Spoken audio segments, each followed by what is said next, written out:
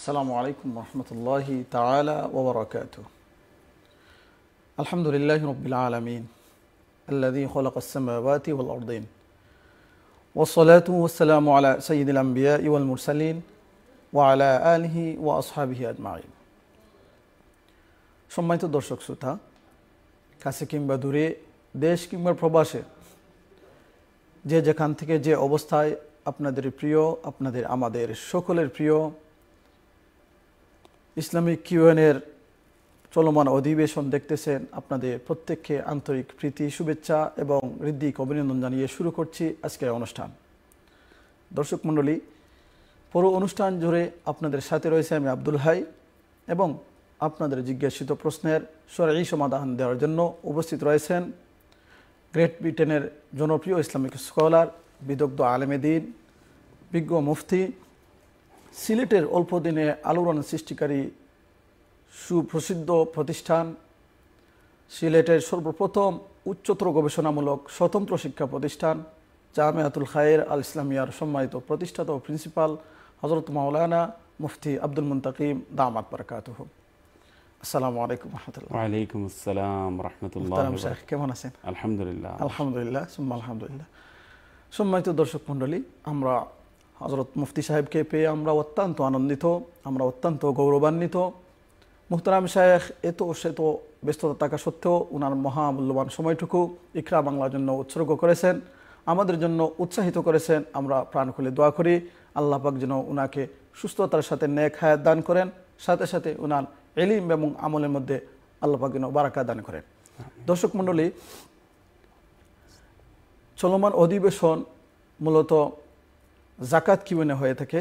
আমরা মুখতারাম শাহেখের কাছ থেকে অনুষ্ঠানের প্রারম্ভে জাকাত কিউনে জাকাত সংক্রান্ত বিষয়ে আমরা মুখতারাম শাহের কাছ থেকে কিছু আলোচনা শুনব। এর পরবর্তীতে আপনাদের করের দিকে ফিরে যাব ইনশাল্লাহ তালা জাজাকুম আল্লাহ তালা খেরান জনাব হজরত মৌলানা আব্দুল হাই আল হাদি হাফিজাক আল্লাহ তালা আল্লাহ তালা আপনাকে উত্তম বিনিময় এবং জাজায় খের দান করুন।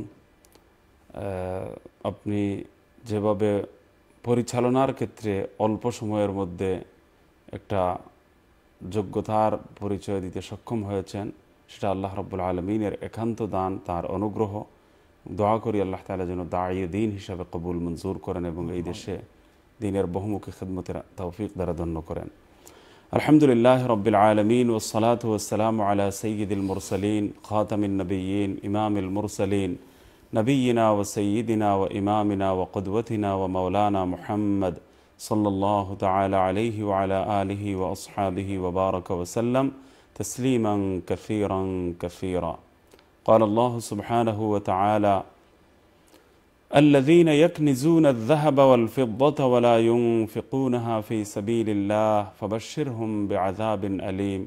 يوم يحمى عليها في نار جهنم فتكوى بها جباههم وجنوبهم وظهورهم هذا ما كنزتم لأنفسكم فذوقوا ما كنتم تكنزون صدق الله العظيم সম্মানিত দর্শক শ্রোতা ইকরা বাংলা টিভির বিশেষ আয়োজন জাকাত কিউএনএ উইথ ইকরা এই প্রোগ্রামে আমি হৃদয়ের গভীরে থেকে আপনাদেরকে ধন্যবাদ মুবারকবাদ জ্ঞাপন করছি ইকরা টিভির কর্তৃপক্ষকে ধন্যবাদ এই জন্য জানাতে হয় যে এত গুরুত্বপূর্ণ একটি বিষয়ের উপর আলাদা প্রোগ্রামের শিরোনাম রেখেছেন শিরোনাম ধার্য করা হয়েছে। এর দ্বারা আপনাদের জন্য এই একটা সুযোগ অবারিত করে দেওয়া হয়েছে যে জাকাত সংক্রান্ত মাসালা মাসাইল আপনারা খোলামেলা পরিবেশে যাতে বয়ান জিজ্ঞাসা করতে পারেন। আমি ব্যক্তিগতভাবে বলি যে পুরো ব্রিটেনের প্রত্যেকটা এলাকার প্রতিটি মসজিদে যদি বলি যে জাকাতের উপর আলাদা ওয়ার্কশপ হওয়া প্রয়োজন, পৃথক প্রোগ্রাম হওয়া প্রয়োজন, প্রশ্নোত্তর সেশন রাখা, প্রশ্নোত্তর পর্ব ধার্য করা কোয়েশ্চন অ্যান্ড আনসার সেশন রাখা, এটা একেবারে ফর্জ পর্যায়ের একটা দায়িত্ব, তাহলে অত্যুক্তি হবে না। কারণ অসংখ্য জায়গায় জাকাত সম্পর্কে আলোচনা করার, জাকাতের উপর দীর্ঘ সময় পর্যন্ত বিস্তারিত আলোচনা, এরপর প্রশ্ন উত্তর পর্ব করার আল্লাহ তালা তৌফিক দিয়েছেন। এবং ঘণ্টার পর ঘণ্টা আলোচনারও আল্লাহ সুযোগ দিয়েছেন। তো এর দ্বারা যে অভিজ্ঞতা সঞ্চিত হয়েছে সেটা হলো যে জাকাতের মাস আলাগুলো আমাদের পরিপূর্ণরূপে জানা নেই। এমনকি আহলে আইলম অনেক আছেন, যাদের কাছেও জাদিদ মাসাইল যেগুলো, নতুন সৃষ্ট জাকাত সংক্রান্ত মাস মাসালা মাসাইল যেগুলো, সেগুলোর পূর্ণ উত্তর স্পষ্ট নেই, অস্পষ্ট রয়েছে। অথবা পুরো মাসালাই ভালো করে বুঝে উঠবার সুযোগ হয়ে ওঠেনি। তো আমাদের ওই ভুলগুলো থেকে যেত। কিন্তু যেহেতু বর্তমান বিশ্বের সর্বশ্রেষ্ঠ আলিম যে মহান ব্যক্তিত্বকে মনে করা হয়, সেই মহান ব্যক্তিত্ব শেখুল ইসলাম, আল্লামা মুফতি মোহাম্মদ তাকিব উসমানী সাহেব দামদ বরাকাত হুম ওনার খেদমতে আল্লাহ তালা কিছু সময়, কয়েক বছর, দীর্ঘ অনেক বছর অতিবাহিত করার তৌফিক দিয়েছেন এবং হজরত জাকাত সম্পর্কিত যে সমস্ত বিশেষ সেশন এবং বিশেষ আলোচনা করেছেন, সেগুলোতে অংশগ্রহণের তৌফিক লাভে আমরা আল্লাহ তালার শুকুর দন্য হয়েছি। আর এই ফিল্ডে ফতোয়া বিভাগেও কাজ করার করাচিতেও সুযোগ হয়েছে, দেশেও, আর এই দেশেও, আলহামদুলিল্লাহ। এই সুবাদে এই কথাটা আল্লাহর সুক্রিয়া স্বরূপ বলতে পারি যে এই মাস আলা নিয়ে কিছুটা হলেও গবেষণার আল্লাহ তালা তৌফিক দিয়েছেন।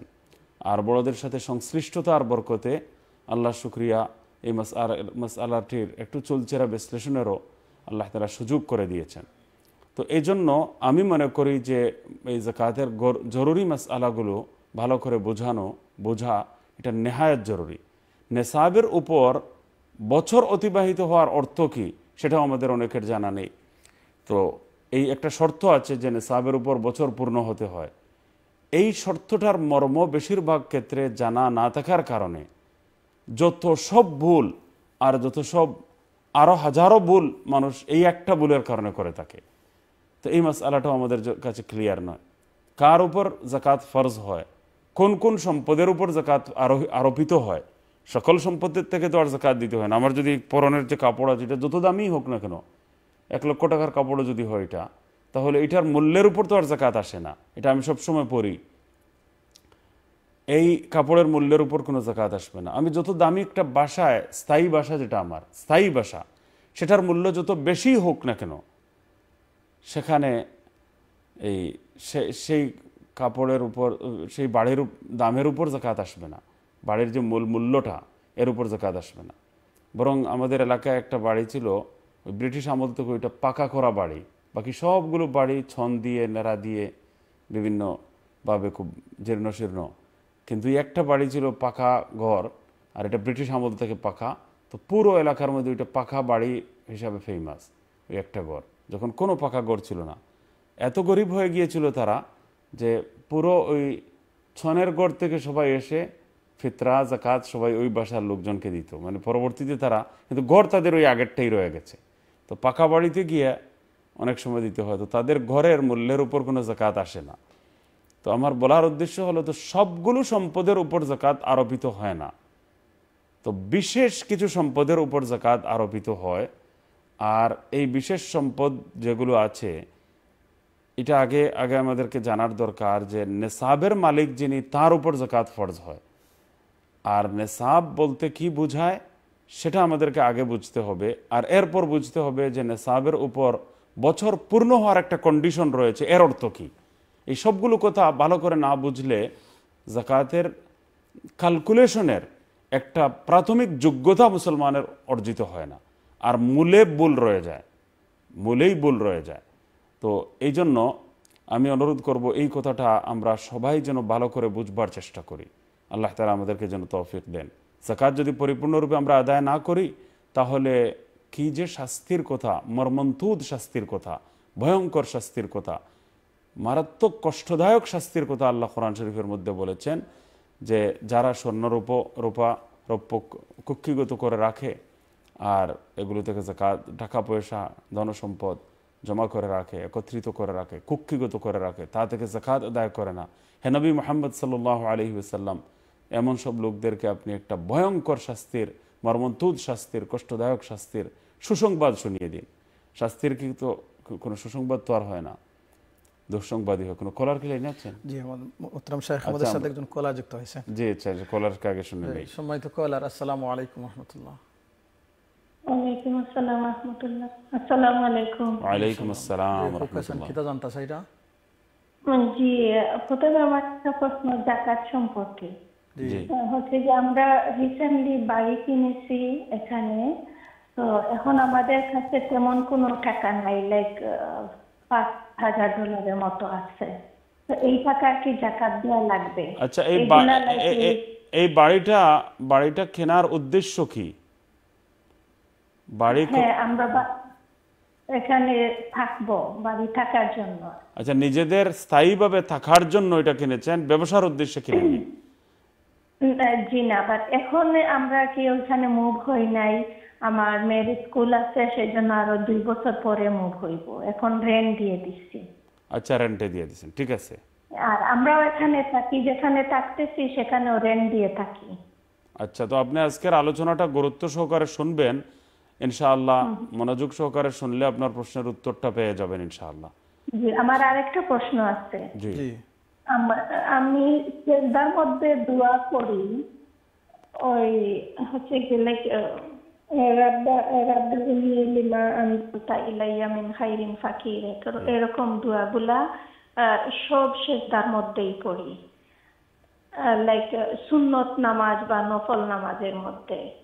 ঠিক আছে। প্রায় প্রত্যেক সেজদাতেই দোয়াগুলা পড়ি। তো এটা পড়া কি ঠিক আছে?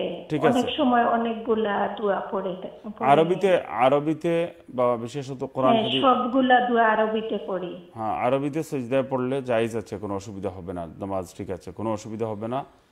সুন্নত নফলে পড়লে পড়লেই ভালো হয় বেশি। আর ফরজের নামাজ ইয়েতে পড়লে নামাজ তো আর খারাপ হবে না কিন্তু পড়া জায়েজ আছে না জায়েজ হবে না। কিন্তু পরামর্শ দেয়া হয়ে থাকে যে সুন্নতের নফলের সুন্নত নফল যত নামাজ আছে সেগুলোতে সেজদার মধ্যে আরবিতে দোয়া করা যায় ইনশাআল্লাহ। বরং এটা ভালো এবং উত্তম। আমি কয়েকটা দোয়া করতে পারব বাচ্চাদের জন্য বা মা বাবার জন্য সব জি সবার জন্য দোয়া। যে কোনো অসুবিধা নেই দোয়া পড়তে পারবেন। সুন্নত নফলের সেজদাগুলোতে পড়বেন এটাই বেশি উত্তম এবং এটাই যুক্তি অধিক যুক্তিসঙ্গত ঠিক আছে আপনার উত্তর পেয়ে যাবেন আপনি আমাদের সাথেই থাকুন। আসসালামু আলাইকুম। আসসালামু আলাইকুম। আসসালাম। আচ্ছা আমরা এই প্রশ্নের ওনার প্রশ্নের দিকে যাওয়ার আগে আমি বলব আমার আগের কথাগুলো আপনি একটু শুনে নেন। তো যে বাসাটা কিনেছেন আপনি আহ, বাসাটা কিনেছেন থাকার জন্য স্থায়ীভাবে এই বাসার মূল্যের উপর কোনো জাকাত আসবে না। এই কথাটাই আমি বলতে চাচ্ছিলাম যে সকল সম্পদের উপর তো জাকাত আরোপিত হয় না। সকল সম্পদ থেকে জাকাত দিতে হয় না। নিজের বাসার যা থাকার জন্য যে বাসা ক্রয় করা হয়েছে, এটা কোটি কোটি টাকার বাসাই হোক না কেন, যেটা স্থায়ীভাবে আমি যে বাসায় নিজে থাকব, থাকার উদ্দেশ্যে যে বাসাটা তৈরি করা হয়েছে, ক্রয় করা হয়েছে, কেনা হয়েছে, এই বাসার মূল্যের উপর কোনো জাকাত আসবে না। একটা পরনের কাপড় এটা যত দামি হোক না কেন, এর উপর কাপড় জাকাত আসবে না। তো জাকাত চার প্রকার সম্পদের উপর আরোপিত হয়। চার ধরনের সম্পদ থেকে জাকাত আমাদেরকে দিতে হয়। এগুলো, এই কথাটা আগে আপনারা মনে রাখবেন। শহরের জীবনে, আসলে ছয় ধরনের সম্পদ। একটা আছে গবাদি পশু, গৃহপালিত পশু, যদি এটার সংখ্যা যেমন চল্লিশটা বকরি হলে একটা বকরি দিতে হয়, এরকম পাঁচটা উট হলে একটা বকরি দিতে হয়। এই ধরনের একটা বিধান। তো এগুলো তো আর আমরা এই শহরের জীবনে নিজেই থাকতে পারছি না, এখানে গৃহ পশু পালবো লালন পালন করব কেমনে? নিজেদের থাকার জায়গা নেই। শহরের জীবনে এটা অ্যাপ্লিকেবল না। গ্রামের জীবনেও এই লেভেলের এত বেশি এই গবাদি পশু এত বেশি কারও কাছে বর্তমানে নেই ইল্লা মাশা আল্লাহ যাই হোক, আরেকটা হলো ফসলের জাকাত, যেটাকে অসুর বলা হয়। তো এই দুটা জিনিস আমরা বাদ দিয়ে দিলাম। এখন শহরের জীবনে নর্মালি এই চার ধরনের সম্পদের উপর জাকাত আরোপিত হয়। সোনা, রূপা। সোনা, রোপা। গোল্ড সিলভার ক্যাশ সেইলেবল মাল। মনে রাখবেন গোল্ড সিলভার ক্যাশ সেইলেবল মাল। সহজ ভাষায় আমি বলব। সোনা, রূপা ক্রান্সি এনি মুদ্রা যে কোনো মুদ্রা যে কোনো ক্রান্সি আর আরেকটা হলো বিক্রয়যোগ্য সম্পদ। সেইলেবল মাল বা ব্যবসার মাল, বাণিজ্যিক পণ্য যেটাকে আমরা বলতে পারি, বাণিজ্যিক পণ্য, তো এটা কঠিন শব্দ হয়ে যায়। মালে তিজারত, ব্যবসার মাল সেইলেবল মাল যেটা হবে। এটা সহজ। এই চারটার ব্যাখ্যা লম্বা করে দিতে হলে অনেক সময় চলে যাবে। সোনার ওপা যে অবস্থাতেই হোক মানে পরনের অলঙ্কার হিসাবেই হোক, ব্যবহারিক অলঙ্কার হিসাবে হোক, বিক্রির জন্য হোক, এমনিতেই সোনার একটা টুকরা আপনি সম্পদ হিসাবে কিনে রেখে দিয়েছেন। এই সুরতে, এই অবস্থাতেই হোক, সর্বাবস্থায় সোনার স্বর্ণের যে স্বর্ণ জাকাতযোগ্য একটা সম্পদ, রূপাও ঠিক একইভাবে জাকাতযোগ্য সম্পদ। টাকা পয়সা, পাউন্ড হোক, ডলার হোক এনি কারেন্সি হোক, টাকা হোক যে কোনো দেশের, দেশে হোক, এই দেশে হোক, ড্রয়ারে থাকুক কিছু পয়সা হয়তো রেয়াল রেয়াল হিসাবে আছে, কিছু টার্কিশ মানি হিসাবে রয়ে গেছে আপনার কাছে। এগুলো মানুষ গণনা করে না, মনে করে এগুলো কিছু রেয়াল সৌদি আরবে গিয়েছিলাম, পড়ে আছে। এগুলো থেকেও জাকাত দিতে হবে, যেহেতু আমি নিজে মালিক। তো এক প্রকার জাকাত, যোগ্য সম্পদ হলো ক্যাশ বা মুদ্রা, ক্রান্সি। আর আরেকটা হলো এমন সব সম্পদ যে সম্পদটা কেনার সময়, ক্রয় করার সময় যদি এই নিয়তে কেউ ক্রয় করে যে এটা আমি বিক্রি করব, বিক্রি করে মুনাফা অর্জন করব, এই নিয়তে যত সব জিনিস কেনা হয়েছে, এই জিনিসগুলো হলো জাকাতযোগ্য সম্পদ, মালে তিজারত। কিনবার সময়, ক্রয় করার সময়, খরিদ করার সময় যদি এই নিয়ত থাকে যে এটা আমি বিক্রি করব, এটা আমি বিক্রয় করে মুনাফা অর্জন করব। আনটিল নাও যদি এই নিয়ত বহাল থাকে তাহলে এটা হলো একটা এক প্রকার জাকাতেবুল সম্পদ। তো চার প্রকার সম্পদ হয়ে গেল। সোনা, রূপা, ক্যাশ, সেইলেবুল মাল। বিক্রয়যোগ্য সম্পদ। বাণিজ্যিক পণ্য, ব্যবসার মাল, মালে তিজারত, যে বাসায় বলেন। এগুলোর অনেক বিস্তারিত বিবরণ দেওয়া যায়। তো এই চার প্রকার সম্পদের কোনো এক প্রকার বা কয়েক প্রকার বা সবগুলো প্রকার, চার ধরনের সবগুলো সম্পদই হোক কারও কাছে একটা আছে, কারও কাছে দুইটা আছে, কারও কাছে তিনটা আছে, কারও কাছে চারটার চারটেই আছে। তো যদি এক প্রকার হোক, কয়েক প্রকার হোক, সবগুলো প্রকার মিলিয়ে হলেও যদি সাড়ে বায়ান্ন বড়ি রূপার দামের সমান হয়ে যায়, তাহলে আপনি নেশাবের মালিক হয়ে গেছেন। এই কথাটা মনে রাখবেন, কে নেশাবের মালিক? সাড়ে বায়ান্ন বড়ি রূপা থাকতে হবে এই শর্ত নয়। রূপার পরিমাণ এতটুকু হওয়া, এটা শরীয়ত বুঝাতে চায়নি। নেশাবের পরিমাণ নির্ণয়ের জন্যে, নেশাবের পরিমাণ নির্ধারণের জন্যে শরীয়ত একটা মানদণ্ড আমাদেরকে দিয়েছে। সেই মানদণ্ড তো মানদণ্ডটা আমাদেরকে ভালো করে বুঝতে হবে যে এই চার প্রকার সম্পদের কোনো এক প্রকার, কয়েক প্রকার অথবা সবগুলো প্রকার একত্রিত করে হলেও যদি সাড়ে বায়ান্ন বড়ি রূপার দামের সমান হয়ে যায়, তাহলে বোঝা যাবে আপনি নেশাবের মালিক হয়ে গেছেন, আপনি সাহেবে নেশাব হয়ে গেছেন। নেশাবের মালিক, নেশাব, পরিমাণ সম্পদের মালিক হয়ে গেছেন। আরেক শব্দে, আপনি মিনিমাম ব্যালেন্স অফ নেশাবের মালিক হয়ে গেছেন। আর আপনার উপর জাকাত ফরজ হয়ে গেছে ইন প্রিন্সিপল নীতিগতভাবে আপনার উপর জাকাত ফরজ হয়ে গেছে। তো আশা করি বুঝতে পেরেছেন যে নেশাবের মালিক কে? নেশাব, পরিমাণ সম্পদের মালিক কে? এখন কেউ বলেন, আমার সোনা সাড়ে সাত তোলা থেকে একটু কম আছে। সাড়ে সাত তোলা সোনা আমার নেই। সাত বড়ি থেকে আমি সবসময় কম রাখি মানে মনে করেন, এর কম হলে আর জাকাত দিতে হয় না নাউদুবিল্লাহ এই কথাটা ভুল। সাড়ে বায়ান্ন বড়ি রূপা আমার কাছে নেই, এর চেয়ে কম, সুতরাং এই রূপার উপর মনে হয় জাকাত দিতে হয় না। এই কথাটা ভুল। শরীয়ত যদি মনে করেন, টাকা দিয়ে নির্ধারণ করতো। নেশাবের পরিমাণটা। তো এক সময় তিনশো টাকা দিয়ে আমাদের জমিনের জমির বিঘা বিক্রি করা হয়েছে। দুই টাকা দিয়ে সোনার তোল- বিক্রি করা হয়েছে, মাত্র তিন টাকা দিয়ে সোনার তোলা বিক্রি করা হয়েছে। এখন যদি টাকা দিয়ে ওইটা নির্ধারণ করা হতো, তাহলে আপনি বলতেন দশ টাকার উপর জাকাত এসে যাবে। তো এখন সাড়ে সাত ভরি সোনার যে দাম আর সাড়ে বায়ান্ন ভরি রূপার যে দাম, এখন তো বড়িও কেউ বুঝে না। সাড়ে বায়ান্ন ভরি রূপা, এর অর্থ হলো six hundred and twelve point thirty six gram সিলভারের মার্কেট ভ্যালিউ ছয়শো বারো পয়েন্ট ছত্রিশ গ্রাম রূপার যে বাজার দাম, সেটা হলো, এই দামটা হলো নেশাবের পরিমাণ। এটা একটা ব্যাপার মনে রাখবেন। কোনো এক সময় হয়তো সাড়ে সাত তোলা সোনা, সাড়ে বায়ান্ন ভরি রূপা দুটার দাম সমানই ছিল। আসলে হয়েছে কি, এটাকে আমি ভালো করে বুঝাই, যেমন ধরেন, সোনা আছে একশো পাউন্ডের, আর ব্যবসার মাল আছে আরও দুইশো পাউন্ডের। টাকা বা ক্রান্সি হিসাবে পাউন্ড আছে আরও তিনশো পাউন্ড। তো সব মিলিয়ে হয়ে গেছে ছয়শো পাউন্ড আর সাড়ে বায়ান্ন ভরি রূপার দাম হলো চারশো পাউন্ড ফর এক্সাম্পল এখন রূপার দাম অনেক কম। তখন আপনার হয়ে যায় ছয়শো পাউন্ড আপনার উপর জাকাত ফরজ হয়ে গেছে অলরেডি সোনা মাত্র এক বড়িও না হাফ বড়ি, বা সোনা অল্প। এখন আরও দুইশো পাউন্ড আছে। এই দুটোটা মিলাইয়া চারশো পাউন্ড হয়ে গেছে। আপনি সাড়ে বায়ান্ন বড়ি রূপার দামের সমান মালিক হয়ে গেছেন। আর জাকাতেবুল সম্পদ। জাকাতযোগ্য সম্পদ একত্রিত করে সাড়ে বায়ান্নব্বই রূপার দামের সমান আপনার হাতে এসে গেছে, আপনি আপনার মালিকানা এসে গেছে, আপনি নেশাবের মালিক হয়ে গেছেন। আর নেশাবের মালিক হয়ে গেলে আপনার উপর জাকাত ফরজ হয়ে যায়।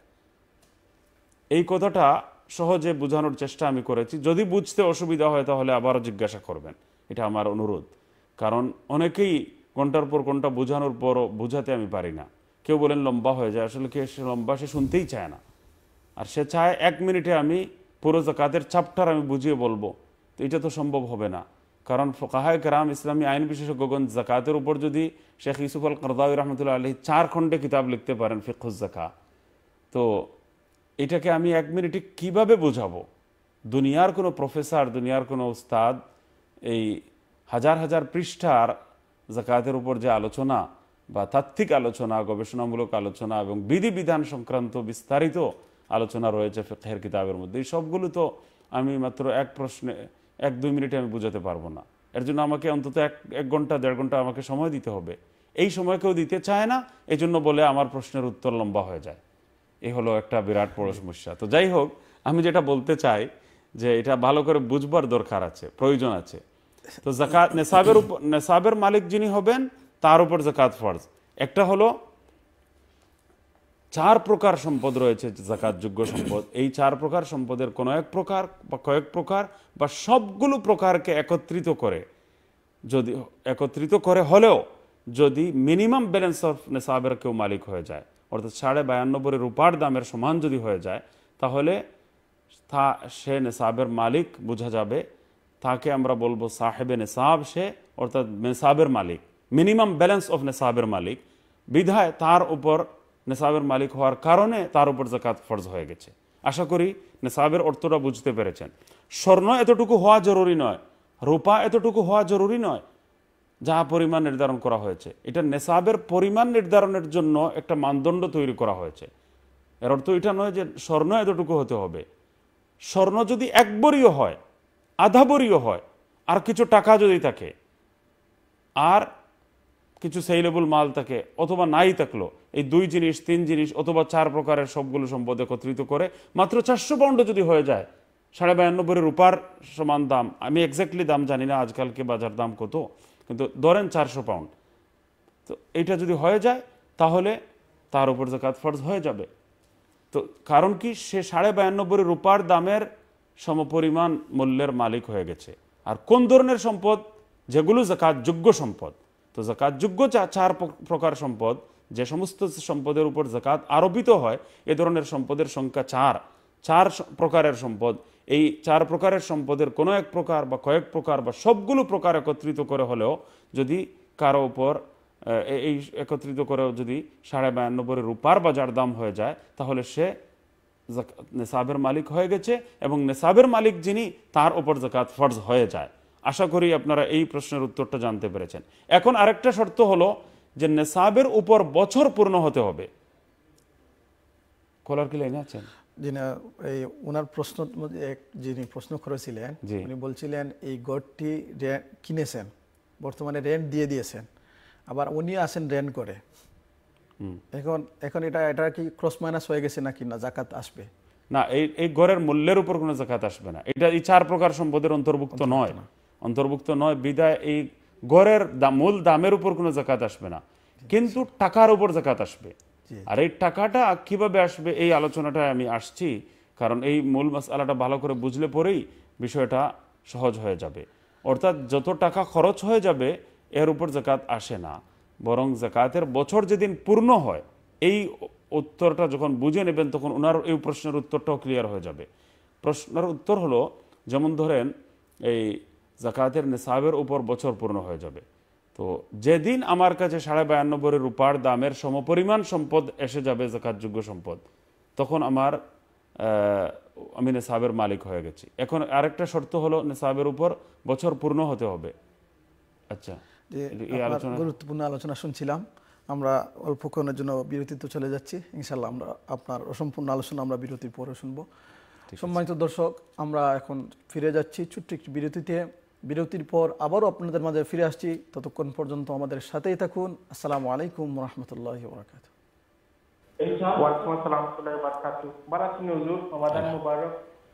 মুবারক। আপনারও আপনাকে রমদান মুবারক। জি বলেন। আহ, প্রশ্নটা হইল হুজুর কিতা ওই যে ফিতরা ফিতরানোর পয়সা আগে দেওয়া যাইব না কই- রোজার, কয়দিন আগে দিলে বা কি বেটার হইব? যে শুরু রমদান শুরু হওয়ার পরে দিতে পারবা। রমদান শুরু হওয়ার আগে দিতে পারতা না রমদান শুরু হওয়ার প্রথম রমদান থেকেও যে কোনো দিন দিতে পারবা। আর ঈদর আগে দেওয়াটা উত্তম উচিত দেওয়াটা। যাতে গরিবর পর্যন্ত ঈদর আগে গিয়া এই টাকাটা পৌঁছি যায়। বুঝছেন না কথা? জি। বিশ রোজা না। আমি একবারে এক রোজা তো দিতে পারবা। প্র- রোজার ফয়রা তারিখও দিতে পারবা ফার্স্ট অফ রমদানও দিতে পারবা। আর রমদান শুরু হওয়ার আগে ই বৎসরর ফিতরা গরিব পর্যন্ত পৌঁছাইয়া দেওয়া ঠিক হইতো না কারোর কাছে যদি আপনি রক্ষিত হিসাবে রাখেন যে আপনি বাদে পৌঁছাই দিন জানি আপনি সাবানও দিয়া রাখি দিলে কারোর কাছে আপনি রমদান আইয়া হারলে গরিবরে দিন জানি। তো রমদান শুরু হওয়ার সাথে সাথে গরিবরে দেওয়া জায়জ আছে বরং দেওয়াটা বেশি উত্তম বেশি বালা যাতে ঈদর খুশির মধ্যে তারা সবাই শরিক হইতে পারেন।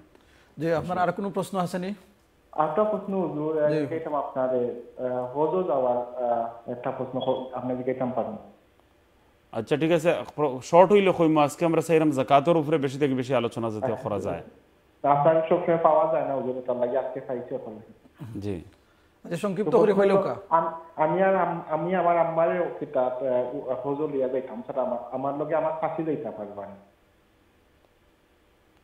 ও আচ্ছা ঠিক আছে ইনশাল্লাহ বয়স হয়েছে কতটুকু জানি সাসির লগে আপনি আপনি যদি মাহরাম হিসাবে তখন তো আপনি যাইতে পারবা অসুবিধা নাই।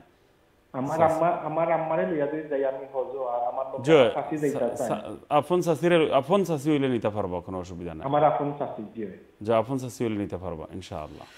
ঠিক আছে আপনার দুইটা প্রশ্ন আমরা বুঝছি। ইনশাল্লাহ আমরা লগে তো হোকার আমরা ধন্যবাদ অনুষ্ঠান সবাই দোয়া রইল আপনার লাগে দোয়া করবা। ইনশাআল্লাহ ইনশাআল্লাহ। আসসালামু আলাইকুম রহমতুল্লাহ। আসসালাম মাশাআল্লাহ।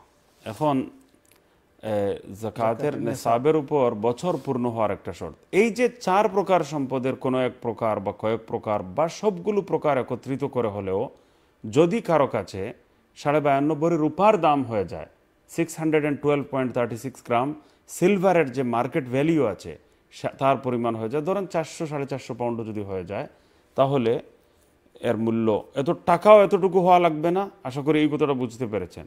রূপাও এতটুকু হওয়া লাগবে না। এক তোলা সোনাও যদি হয়, এর উপরও জাকাত দিতে হবে। সেটা কীভাবে? এক তোলা সোনা, এর সঙ্গে টাকা তো আছে। এই দুটোটা মেলানোর মাধ্যমে তো আপনি রূপার দাম অনুযায়ী নেশাবের মালিকানা আপনার হাতে চলে এসেছে। নেশাবের মালিক নেশাবের মালিক আপনি হয়ে গেছেন অলরেডি বিধায় আপনি নেশাবের মালিক আপনার উপর জাকাত ফরজ। এখন এই এক তুলা সোনার উপর জাকাত দিতে হবে। হাফ বড়ি স্বর্ণ যদি হয় এক গ্রাম স্বর্ণ যদি হয়, দুই গ্রাম স্বর্ণ যদি হয়, এর উপরে জাকাত দিতে হবে। স্বর্ণ এতটুকু হওয়া লাগবে এমন কথা নয়। বরং রূপার দাম দ্বারা, রূপার মূল্য দ্বারা একটা নেশাবের পরিমাণ আল্লাহ নবী সাল আলী সাল্লামের হাদিস দ্বারা নির্ধারণ করা হয়েছে। সোনার একটা পরিমাণ দ্বারা নেশাবের মূল্য নির্ধারণ করা হয়েছে। এবং ফকাহায় কেরাম একটা কথা বলেছেন, ইসলামী আইন বিশেষজ্ঞগণ বলেছেন যে যদি সোনা আর রূপার উভয়টার দাম দ্বারা যে দুইভাবে নেশাবের পরিমাণ নির্ধারণ করা হয়েছে, এখন যদি দুটোটার দাম পার্থক্য হয়ে যায়, তারতম্য হয়ে যায়, বেশ কম হয়ে যায়, রূপার দাম দ্বারা নেশাবের স্ট্যান্ডার্ড যেটা নির্ণয় করা হয়েছে, মানদণ্ড যেটা করা হয়েছে, সেটা অনুযায়ী যদি এক দাম হয়, সোনার দাম অনুযায়ী যদি দামটা আরেক অন্যরকম হয়, তখন কোন নেশাব গ্রহণযোগ্য হবে, দর্তব্য হবে কাউন্ট করা হবে? জাকাত আদায়ের ক্ষেত্রে কোনটার উপর ফতোয়া দেয়া হবে তো ওলামায় কেরাম বলেছেন যেটা আনফা আলিল ফোকারা হবে হেদায়ের মধ্যে রয়েছে সকল ফোকাহায় কেরামের উক্তি রয়েছে যেটা গরিবদের জন্য বেশি উপকারী এখন চারশো পাউন্ডের রূপার দাম অনুযায়ী চারশো পাউন্ডের মালিকানা আপনার হাতে চলে আসলে আপনি নেশাবের মালিক হয়ে যান রূপার দাম অনুযায়ী আর সোনার দাম অনুযায়ী আপনি পঁয়ত্রিশশো পাউন্ড হলে পরে আপনি জাকাতের মানে নেশাবের মালিকানা আপনার হাতে আসে তো বলুন তো, কোন নেশাব নির্ধারণ করলে পরে গরিবের ফায়দা বেশি হবে? যেটা, যার, যে নেশাব নির্ধারণের কারণে, মাধ্যমে গরিবের ফায়দা বেশি হবে, সেই নেশাব নির্ধারণ করা জরুরি। সেই নেশাবের উপর ফতোয়া দেওয়া হয়েছে, যেটা আনফা আলিল ফোকারা হবে, যেটা গরিবের জন্য বেশি উপকারী নেশাব হবে। তো আপনারা একটু চিন্তা করলেই বুঝতে পারবেন যে রূপার নেশাবের মানদণ্ড যদি নির্ধারণ করা হয়, তো গরিবের ফায়দার মধ্যে বেশি। কারণ চারশো পাউন্ডওয়ালার উপরে জাকাত ফরজ হবে, পাঁচশো পাউন্ডওয়ালার উপরে জাকাত ফরজ হবে, তখন এর উপরে পঁয়ত্রিশশো পাউন্ড যিনি মালিক হবেন, তার উপরে জাকাত ফরজ হবে। তো পঁয়ত্রিশশো পাউন্ড থেকে যদি আপনি আরম্ভ করেন, তাহলে এর নিচে আরও কোটি কোটি মুসলমান এমন থেকে যাবেন, যারা কেউ চারশো পাউন্ডের মালিক, কেউ পাঁচশো পাঁচশো পাউন্ডের মালিক, কেউ ছয়শো পাউন্ডের কেউ সাতশো, আটশো, এইভাবে প্রত্যেকটা পরিমাণের মালিকানা অসংখ্য মুসলমানদের হাতে রয়েছে। এর নিচে পঁয়ত্রিশশো পাউন্ডের নিচে যারা মালিক, তাদের কারও উপর জাকাত ফরজ হবে না। এইভাবে কোটি কোটি মানুষ জাকাত যদি আরও বেশি দেয় মুসলমানদের মধ্যে, লক্ষ লক্ষ মানুষ অতিরিক্ত যদি জাকাত দেয়, তাহলে গরিবরা বেশি পাবে। আর পঁয়ত্রিশশো যার মালিকানায় আছে, সে তো অবশ্যই জাকাত দেবে। চারশোর উপর যেখানে জাকাত ফরজ হয়ে যাচ্ছে, সেখানে পঁয়ত্রিশের উপর তো অবশ্য অবশ্যই ফরজ হবে। তো পঁয়ত্রিশশো ওয়ালারাও চলে আসবে আর চারশো পাউন্ডের মালিক যারা, তাদের উপরে জাকাত ফরজ হয়ে যাবে। এই জন্য মাস আলা হলো, মুফতাবিহি কৌল হলো, যে কৌলের উপর, যে উক্তির উপর ওলামা একরাম ফতোয়া দিয়েছেন, সেটা হলো রূপার দাম অনুযায়ী নেশাবের মিনিমাম ব্যালেন্স অফ নেশাবের মালিক যিনি হবেন, সর্বনিম্ন পরিমাণ নেশাবের মালিক যিনি হয়ে যাবেন, তার উপর জাকাত ফরজ। এখন সোনা এতটুকু হতে হবে, রূপা এতটুকু হতে হবে, এই কথাটা প্রথমেই আমাদের ভুল। এটা শরীয়ত এই জন্য নির্ধারণ করেনি যে স্বর্ণ এই পরিমাণ থাকতে হবে। এই পরিমাণ স্বর্ণের দাম যদি অন্য ধরনের জাকাতেবুল সম্পদ মিলিয়েও যদি হয়ে যায়। হ্যাঁ শুধু একটা মাস মাসালা হতে পারে। জাকাতেবুল সম্পদ স্বর্ণ ছাড়া যদি আর কোনো কিছু থাকে না, একটা টাকারও মালিক নয়, একটা ফ্যানিরও মালিক নয় ইভেন একটা ফ্যানিরও মালিক নয়, একটা পয়সারও মালিক নয়, এক টাকারও মালিক নয়। এমন যদি কেউ থাকে, আর স্বর্ণ ছাড়া যদি আর কিছুই থাকে না অনলি সোনাই, সোনারি মালিক হয় অনলি গোল্ডের মালিক হয়। তাহলেই কেবল একটা মাস আল্লাহ একরাম বলেছেন, সাড়ে সাত বড়ির নিচে হলে জাকাত ফরজ হবে না। কারণ স্বর্ণের, শুধু স্বর্ণ। কিন্তু আমি একজন মানুষ এমন পাইনি এই পর্যন্ত যে এক, দুই, তিন বড়ি স্বর্ণের মালিক কিন্তু সে এক টাকারও মালিক নয়। তো দুই ধরনের জাকাতেবুল সম্পদ, দুই ধরনের জাকাতেবুল জাকাতযোগ্য সম্পদ যদি একত্রিত হয়ে যায়, তাহলে রূপার নেশাবটা দর্তব্য হবে। এটাও এলামায় কারাম উল্লেখ করেছেন। তো স্বর্ণ এতটুকু থাকতে হবে না। আর যে এক বড়ি সোনার মালিক হবে, সে কি এক পাউন্ডেরও মালিক নেই? তার কি অ্যাকাউন্টে কি একটা একটা টাকাও নেই? প্রত্যেকটা বাচ্চার কাছেও আমাদের মাসাল্লাহ পাঁচ, দশ পাউন্ড অন্তত থাকে। বিশ পাউন্ডের মালিকানা থাকে। বা এক টাকা, একটা পাউন্ডের তো মালিকানা আছে। প্রত্যেকের একটা বক্স থাকে ইয়ে থাকে। আর সাবালক হয়ে যাওয়ার পর দুই তুলা স্বর্ণের মালিক হবে, তিন তুলা স্বর্ণের মালিক হবে, আর তার কাছে একটা টাকাও হবে না। বা এক বড়ি স্বর্ণের মালিক হবে, আর তার কাছে একটা পাউন্ডর হবে না একটা পাউন্ডের সে মালিকানা তার কাছে থাকবে না এমন তো হয় না।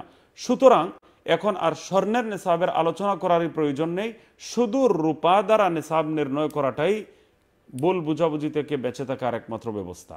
আশা করি বুঝতে পেরেছেন। এর কাছে সম্পর্কে একটা প্রশ্ন রাখতে চাই। জি। জাকাতের হকদার আসলে কারা কারা? এটা এটা জানার জন্য। আর দ্বিতীয় প্রশ্ন হচ্ছে এখন ওনাকে জাকাতের হকদার মনে করে আমি জাকাত দিয়ে দিলাম। পরবর্তীতে জানলাম আসলে ও জাকাতের উপযুক্তই না। তখন আমার করণীয় কি? আচ্ছা এটার দিকে আমি আসছি। আসার আগে আমি শুধু এতটুকু বলব যে জাকাতের উপর নেশাবের উপর বছর পূর্ণ হওয়ার যে কন্ডিশন এর অর্থটা কি? এটা খুব জরুরি। এটা না বোঝার কারণে পুরো মাসালা আর অসংখ্য মাসালা বুঝতে অসুবিধা হয়। যে এই চার প্রকার সম্পদের কোনো এক প্রকার কয়েক প্রকার বা সবগুলো প্রকার মিলিয়ে যদি সাড়ে বায়ান্নব্বই রূপার দামের সমপরিমাণ মিনিমাম বা এর চার চেয়েও বেশি যদি হয়ে যায় তাহলে এমন মানুষকে নেশাবের মালিক বলা যাবে, যেমন চারশো পাউন্ডের মালিক যদি হয়ে যান। এখন যে তারিখে যিনি জীবনে প্রথমবার নেশাবের মালিক হলেন, তার জন্য এটা এটা নির্ধারিত তারিখ, জাকাতের বার্ষিক হিসাব খসার জন্য এটা হলো মানদণ্ড। ফর এক্সাম্পল আমি উদাহরণ দিই। একজন মানুষ যদি মহারম মাসের জীবনে তার কাছে টাকা পয়সা নেই, তেমন ইনকাম নেই, তার নেশাব পরিমাণ সম্পদের মালিক সে হয়নি জীবনে প্রথমবার সে স্যালারি পেয়েছে সেই তারিখটা ছিল মহারম মাসের পনেরো তারিখ ফর এক্সাম্পল এখন আগামী বছর মহারম মাসের পনেরো তারিখ তার জাকাতের বৎসর পূর্ণ হচ্ছে। এই ডেটটা ফিক্স করা নেহায়ত জরুরি। আসল ডেট না জানা থাকলে নেশাবের পরিমাণ পার্থক্য হয়ে যাবে। আর সঠিক জাকাত আদায় সঠিক নিয়মে হবে না। এখন আমি জীবনে প্রথমবার মিনিমাম ব্যালেন্স অফ নিসাবের মালিক হয়েছি পনেরো মহারম আমার জাকাতের বৎসর পূর্ণ হবে আগামী বছর পনেরো মহারম উনি জীবনে প্রথমবার দশ সাবান হয়তো জীবনে প্রথমবার সর্বনিম্ন পরিমাণ নেশাবের মালিক হয়েছেন, আপনি হয়েছেন, আপনার জাকাতের বৎসর পূর্ণ হবে আগামী বছর দশ সাবান তো প্রত্যেক বছর যেদিন যার যে বছর পূর্ণ হবে, কারও হয়তো হতে হতে পারে পাঁচ রবিউল আউ্য়াল রবিউল আউ্য়াল মাসের পাঁচ তারিখ সে জীবনে প্রথমবার সর্বনিম্ন পরিমাণ নেশাবের মালিক হয়েছে বা মিনিমাম ব্যালেন্স অফ নেশাবের মালিক হয়েছে। এমন মানুষের আগামী বছর তার জাকাতের বৎসর পূর্ণ হবে আগামী পাঁচ রবিউল আউ্য়াল। কারও হবে দশ সাবান কারও হবে এক রমাদান, কারও হবে শাওয়াল, কারও হবে অন্য কোনো মাস। সবার তো আর সমান হবে না। আমরা সবাই রমাদানে জাকাত দিই, এটা ভালো কথা, কিন্তু মূল মাসআলা অনুযায়ী, আসল কথা অনুযায়ী, সঠিক মাসআলা অনুযায়ী প্রত্যেকের জাকাতের বৎসর পূর্ণ হবে ভিন্ন ভিন্ন তারিখে ডিফারেন্ট ডিফারেন্ট ডেটে এটা আমাদের আগে ভালো করে জানতে হবে। আসলে আমি জীবনে প্রথমবার আমার জন্য এটা জানা ফরজ ছিল। স্মরণ রাখা, এই তারিখটা স্মরণ রাখা ফরজ ছিল যে আমি জীবনে প্রথমবার মিনিমাম ব্যালেন্স অফ সাহাবের মালিক কোন দিন হয়েছি। আরবি মাসের তারিখ অনুযায়ী, চন্দ্র মাসের তারিখ অনুযায়ী, ইসলামিক ক্যালেন্ডার অনুযায়ী যে বছর আমরা গণনা করে থাকি মহারম থেকে জুল হিজ্জা পর্যন্ত, এই হিসাব অনুযায়ী কোন মাসের কোন তারিখে, চন্দ্র মাসের হিসাব অনুযায়ী কোন মাসের কোন তারিখে প্রথমবার আমি জীবনে মিনিমাম ব্যালেন্স অফ নিসাবের মালিক হয়েছি, এই তারিখটা মনে রাখা প্রত্যেকের উপর ফরজ। এখন যে মনে নেই, সেটা আমাদের সমাধান কি সেটাও আমি বলব। এখন ধরেন পনেরো মহারম আমি জীবনে প্রথমবার নিসাবের মালিক হয়েছি, আমার নিসাবের পরিমাণ হলো এক হাজার পাউন্ড। আগামী বছর, পুরো বছর আমার কাছে এক হাজার পাউন্ড ছিল, এক হাজার পাউন্ড ছিল, এক হাজার পাউন্ড ছিল, কোনো কমতি আসেনি। পরের পনেরো মহারম আমি দেখতে হবে, যেদিন পনেরো মহারম পরের বছর আসবে। আগামী বছর পনেরো মহারম যেদিন আসবে, ওই দিন দেখতে হবে যে আজকে আমি কত টাকার মালিক। আজকে আমার কাছে স্বর্ণ থাকলে এটার মার্কেট ভ্যালিউ কত, রূপা থাকলে এর মার্কেট ভ্যালিউ কত, আর সেইলেবল মাল থাকলে, বাণিজ্যিক পণ্য থাকলে, ব্যবসার মাল থাকলে, সেটার মার্কেট ভ্যালিউ কত, বাজার দাম কত, এই সব মিলিয়ে যা হবে, তা থেকে টু পয়েন্ট ফাইভ পার্সেন্ট জাকাত দিতে হবে। এই হলো সহজ হিসাব। এখন মনে করেন প্রথমবার আমি জীবনে পনেরো মহারম জীবনে প্রথমবার এক হাজার পাউন্ডের মালিক হয়েছিলাম। প্রথমবার আমি জীবনে নিসাবের মালিক হয়েছিলাম মিনিমাম ব্যালেন্স অফ নিসাবের। আমার নিসাবের পরিমাণটা ছিল এক হাজার পাউন্ড পুরো বছর এক হাজার পাউন্ড এক হাজার পাউন্ড এক হাজার পাউন্ড ছিল। আগামী বছর পনেরো মহরম আসার মাত্র একদিন আগে, চোদ্দ মহরম আমার হাতে আরও চলে আসলো নয় হাজার পাউন্ড মাত্র একদিন আগে। এখন যেদিন আমার বছর পূর্ণ হচ্ছে, ওই দিন আমার ব্যালেন্স অফ নিসাব নিসাব কত হলো? একটু বলবেন? যেদিন আমার নিসাবের বছর পূর্ণ হচ্ছে, ওই দিন আমার ব্যালেন্স অফ নিসাব কত হলো? দশ হাজার পাউন্ড কারণ একদিন আগে আরও নয় হাজার পাউন্ডের আমি মালিক হয়েছি। পুরো বছর আমার হাতে এক হাজার, এক হাজারই ছিল। আর যেদিন আমার জাকাতের বৎসর পূর্ণ হবে পনেরো মহরম এর মাত্র একদিন আগে আমার হাতে আরও নয় হাজার পাউন্ড চলে এসেছে। এখন আমার যেদিন জাকাতের আমার জাকাতের বৎসর পূর্ণ হচ্ছে ওই দিন আমার ব্যালেন্স অফ নিসাব কত হলো? দশ হাজার পাউন্ড এখন দশ হাজার পাউন্ডের জাকাত দিতে হবে। এই মাসালাটা ভালো করে মনে রাখবেন। অনেকে মনে করেন এ কি বলেন হুজুর? কালকেই তো মাত্র এই নয় হাজার পাউন্ড আমার কাছে এসেছে একদিন হলো মাত্র। এখন এই জায়গায় যত সব বল এমনকি ওলামায় কারামেরও এই জায়গায় মিস্টেক রয়ে গেছে, ভুল রয়ে গেছে। ওনারা অনেকেই ফতোয়া দিয়ে থাকেন যে ওই ওই কিছুদিন আগে যে মানে যে পয়সা এসেছে, এর উপর যদি বছর পূর্ণ হয়ে যায়, তাহলে আপনি জাকাত দিতে হবে। সমষ্টিগতভাবে নেশাবের উপর সামষ্টিক বছর পূর্ণ হওয়া উদ্দেশ্য। এটা ভালো করে বুঝবেন। প্রত্যেকটা আলাদা টাকার উপর পৃথক পৃথকভাবে বছর পূর্ণ হওয়া জরুরি নয়। বরং এই যে প্রথম পনেরো মহরম আমি এক হাজার পাউন্ডের মালিক ছিলাম, এটা মিনিমাম ব্যালেন্স অফ নিসাব ছিল। আর এইবার পনেরো মহরম আমি নিসাবের মালিক আছি। তো শুরু আর শেষ, এই দুই দিনে যদি কেউ নিসাবের মালিকানা কারও হাতে থাকে, তাহলে তার নেশাবের উপর বছর পূর্ণ হয়ে গেছে ধরা হবে। এটাই হলো নেশা- নেশাবের উপর বছর পূর্ণ হওয়ার যে কন্ডিশন এর মর্ম। এখন পুরো বছর এক হাজার পাউন্ড থেকে যদি কমেও যায় মানে মূল নেশাবের অনেক কিছু কমে যায়। নেশাবের পরিমাণ থেকেও একেবারে যদি কমে যায় মিনিমাম ব্যালেন্স অফ নেশাব যেটা, তা থেকেও যদি কমে যায়, তাহলে সেটা ধর্তব্য নয়। শুরু আর শেষ, এই দুই দিনে যদি নেশাবের মালিকানা কারও কাছে থাকে তাহলে যেদিন জাকাতের বৎসর পূর্ণ হচ্ছে, ওই দিন দেখতে হবে যে আজকে আমার ব্যালেন্স অফ নেশাব কত। আজকে আমার নেশাবের পরিমাণ কত, যা পরিমাণ হবে তা থেকে টু পয়েন্ট ফাইভ পার্সেন্ট দিতে হবে, জাকাত দিতে হবে। আশা করি বুঝতে পেরেছেন। এটা উদাহরণ এইভাবে দেন যে প্রথম দিন পনেরো মহরম আমি জীবনে প্রথমবার নেশাবের মালিক হয়েছিলাম। আর পুরো বছর আমার কাছে এক হাজার পাউন্ড ছিল, এক হাজার পাউন্ড ছিল। আগামী বছর পনেরো মহরম আসার মাত্র একদিন আগে আরও নয় হাজার পাউন্ড আমার মালিকানায় চলে এসেছে। এখন যেদিন জাকাতের বৎসর পূর্ণ হচ্ছে, তখন কত হলো আমার ব্যালেন্স অফ নেশাব দশ হাজার পাউন্ড দশ হাজার পাউন্ডের উপর জাকাত দিতে হবে। শুরুতে যদি সারা বছর দশ হাজার থাকে, আর একদিন আগে যদি নয় হাজার হাত ছাড়া হয়ে যায় তবুও আমি বলব যে যেদিন জাকাতের বৎসর পূর্ণ হচ্ছে ওই দিন আমার ব্যালেন্স অফ নেশাব হলো মাত্র এক হাজার পাউন্ড সুতরাং এক হাজার পাউন্ডের উপর জাকাত দিতে হবে। একদিন আগে হাত ছাড়া হয়ে গেলেও যেদিন পূর্ণ হচ্ছে বছর ওই দিনকার যে ব্যালেন্স অফ নেশাব তা থেকে টু পয়েন্ট ফাইভ পার্সেন্ট দিতে হবে। একদিন আগেও যদি হাত ছাড়া হয়ে যায়, তাহলে তা থেকে, এটা বলা হবে না যে মাত্র একদিন আগ পর্যন্ত পুরো বছর আপনার কাছে দশ হাজার পাউন্ড ছিল, আপনি কেন দশ হাজারের জাকাত দেবেন না? এই মাত্র একদিন আগ পর্যন্ত তো এই দশ হাজার ছিল। এটা বলা হবে না। কারণ আল্লাহ জালিম নন যা আছে তার উপর জাকাত দিয়েছেন। তো আশা করি বুঝতে পেরেছেন বিষয়টি। আমরা আপনার যে প্রশ্ন ছিল এটা আমরা অনুষ্ঠানের একেবারে শেষ প্রান্তে আমরা শেষের দিকে চলে আসছি। আপনার প্রশ্নটা একটু বলুন আমার প্রশ্নটা ছিল এই নেশাবের উপযুক্ত নেশাব উনি জাকাতের উপযুক্ত মনে করে জাকাত দেওয়া হয়েছে। পরবর্তীতে হ্যাঁ, জাকাতের উপযুক্ত মনে করে দিয়ে দিলে জাকাত আদায় হয়ে যাবে। পরবর্তী জানলাম জাকাতের হকদারি না। যখন দিয়েছেন দেওয়ার সময় যদি মনে করেন গরিব মনে করে দিয়ে থাকেন আর পরবর্তীতে তদন্ত করে যদি বের করা হয় প্রথমে যদি কিন্তু আমি স্যাটিসফাইড হয়ে দিয়ে থাকি এই প্রথম শুরুতে দেওয়ার সময় জাকাতের নিয়ত থাকতে হবে এবং যাকে দিচ্ছি তার ব্যাপারে স্যাটিসফ্যাকশন থাকতে হবে যে উনি জাকাত খাওয়ার যোগ্য এবং লেস দেন নেশাব উনি রয়েছেন এমত অবস্থায় জাকাত আদায় হয়ে যাবে। পরবর্তীতে যদি এটার জানা যায় যে না ওনার কাছে এর চেয়েও বেশি ছিল তবু কোনো অসুবিধা হবে না। কিন্তু যদি শুরুতে এটা ভালো করে মানে স্যাটিসফ্যাকশনের কোনো প্রয়োজন আমি মোটেও অনুভব করিনি তাহলে হয়তো আবার জাকাত দিতে হবে। মানে যদি বাহ্যিক অবস্থা একতার জন্য সাক্ষ্য দেয় যে উনি জাকাত খেতে পারবে তদন্ত করা জরুরি নয়। বাহ্যিক অবস্থা যদি সাক্ষ্য দেয় যে জাকাত খাওয়ার যোগ্য হবে তাহলে এতটুকুই এনাফ এর দ্বারা জাকাত আদায় হয়ে যাবে। জাজাকাল্লাহ শেখের কাছ থেকে আমরা গুরুত্বপূর্ণ আলোচনা শুনছিলাম। আমরা এখন একেবারে শেষ প্রান্তে আমরা সর্বশেষ আপনার কাছে আবারও ফিরে আসছি এক থেকে দুই মিনিটের ভিতরে। এতক্ষণের আলোচনার সারাংশ যদি আমাদের সামনে উপস্থাপন করেন। দেখেন জাকাত একটা ফরজ দায়িত্ব। জাকাত আদায় না করলে মারাত্মক শাস্তি দুনিয়া আখরাতে আজাব সম্পদের উপর আজাব আখরাতেও মারাত্মক সাপ দংশন করবে। জাহান্নামের আগুনে জ্বলতে হবে। জাহান্নামের আগুনে ওই সম্পদকে দগ্ধ করে দাগ দেওয়া হবে। কিন্তু জাকাতের মাস আলাগুলো আমরা ভালো করে জানি না। শেয়ার কত প্রকার কোন প্রকার শেয়ারসের জাকাত কীভাবে দিতে হয় অনেকগুলো মাসআলা আছে। প্রশ্ন উত্তরমূলক পর্ব আমরা পরিপূর্ণরূপে এই কল্প সময় আমরা করতে পারিনি। কারণ আমি একটা উত্তর দিতে গিয়েছি আর একটা প্রশ্ন চলে এসেছে, অথবা ব্রেকে যেতে হয়েছে। তো এই জন্য আবার রিপিট করতে হয়েছে আমার কথাগুলো। তো আমি মনে করি প্রত্যেক মসজিদে, প্রত্যেক জায়গায় সর্বত্র মসজিদ কমিটির উপর একটা ফরজ দায়িত্ব ওলামায় কারামের উপর ফরজ দায়িত্ব, সর্বত্র যেন জাকাতের জরুরি মাসআলা মাসাইলগুলো কোনো বিজ্ঞ, যোগ্য মুফতি সাহেব দ্বারা আলোচনা করানো এবং প্রশ্নোত্তর পর্ব রাখা।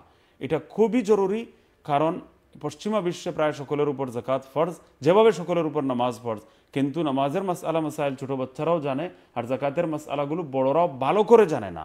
পুঙ্খানুপুঙ্খ রূপে জাকাত আদায় করতে জানে না। এই জন্য প্রাপ্য ঋণের উপর জাকাত কীভাবে দিতে হয়? পরিশোধযোগ্য ঋণের জাকাতের বিধান কি? প্রাপ্য ঋণের বিধান কি? শেয়ার্সের জাকাত শেয়ার্স কত প্রকার? কোন প্রকার জাকাতের বিধান কীভাবে? ক্রান্সি কত প্রকার? কীভাবে জাকাত দিতে হয়? ব্যবসায়, ব্যবসার সম্পদের বিভিন্ন রূপ আছে, সেগুলোর উপর জাকাতের ব্যাপারে আমি মনে করি যোগ্য, বিজ্ঞ ওলামায় কারাম এবং মুফতি সাহেবান যারা এই মাসআলার উপর অভিজ্ঞ, তাদের আলোচনা সর্বত্র করানো এবং এর ব্যবস্থা গ্রহণ সময়ের দাবি। আমি ইনশাল্লাহ নিউ পোর্টেও যাব, এরপরে ইনশাআল্লাহ তালা আল্লাহ তৌফিক দিলে একদিন রেডিংকেও যাব। আল্লাহ তালা সর্বত্র যেন এই কাজটা করার দায়িত্ব পালনের আমাদের তৌফিক যেন দান করেন। জাজাকুমুল্লাহ তালা খৈরন শুক্রান জাজিলা। জাজাকাল্লাহ খাইরান আমরা হজরত শেখের সুস্বাস্থ্যের সাথে নেক হায়াত কামনা করছি। সাথে সাথে আল্লাহ তালা যেন ইলিম এবং আমলের মধ্যে বারাকা দান করেন। আল্লাহ সর্ব অবস্থায় রাখেন। আমরা এই দোয়া কামনা করছি। আপনার দ্বারা দিন ইসলামের খিদমত হচ্ছে জাতি উপকৃত হচ্ছে। আপনি আমাদের জন্য একটি নিয়ামত আপনার দীর্ঘায়ু কামনা করছি। সম্মানিত দর্শক মণ্ডলী আপনারা দীর্ঘ সময়, দীর্ঘক্ষণ যাবত আপনাদের প্রিয় অনুষ্ঠান ইসলামিক কিউএনএ উইথ ইকরা উপভোগ করেছেন, আমাদের সাথেই ছিলেন, ইকরা বাংলার সাথেই ছিলেন। দীর্ঘক্ষণ আপনারা ধৈর্য সহকারে এই অনুষ্ঠানটি উপভোগ করার জন্য আমাদের ইকরা বাংলার পক্ষ থেকে আন্তরিক মোবারকবাদ জানাইয়ে, আগামীর ইসলামিক কিউএনএ উইথ ইকরা দেখার আমন্ত্রণ জানিয়ে আজকের মতো এখানে বিদায় নিচ্ছি। আসসালামু আলাইকুম রহমতুল্লাহি ওবরাকাতু